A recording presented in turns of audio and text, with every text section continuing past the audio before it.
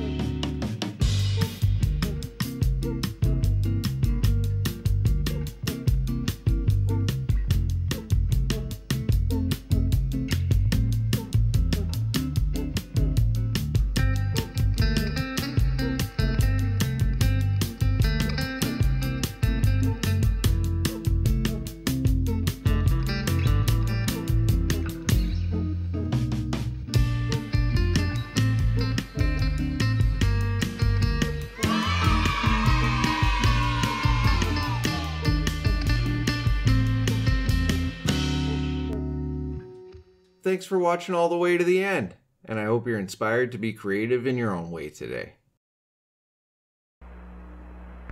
That's the Earth, and we have a very good view of it today. There are a few more uh, cloud bands on than uh, yesterday when we beamed down to you, but uh, it's, a, it's a beautiful sight.